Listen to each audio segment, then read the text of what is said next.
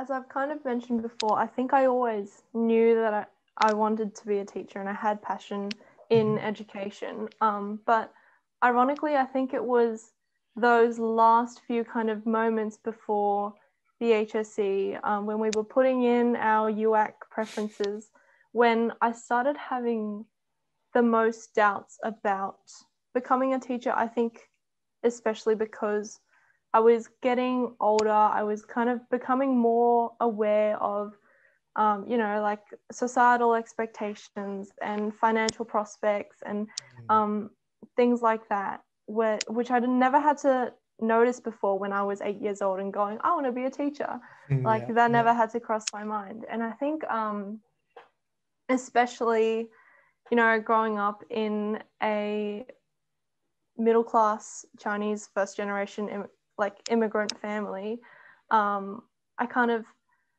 felt like I owed it to myself to pursue the grandest occupation I could, um, kind of in the in the sense of, you know, the typical lawyer, doctor, doctor, lawyer, yeah. engineer kind of kind of vibe, right? Yeah. Um, and I I think I had a lot of adults around me telling me, um, like, or why are you settling for teaching when you could pursue something better or like make a better life for yourself um, things like that.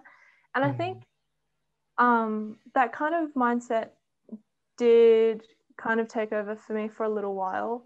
And i was starting to really look into um, engineering because i thought okay i like maths. What else can i do with that? Maybe yeah. engineering um, and I seriously looked into it for a very long time. And I even got sponsored by the school to go on this um, women in engineering camp for a week in the holidays.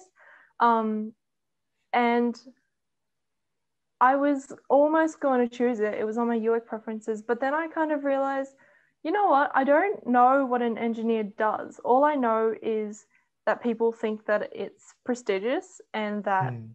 I might make more money in that role than I would as a teacher. But ultimately, I think my heart has always been set on teaching and on education.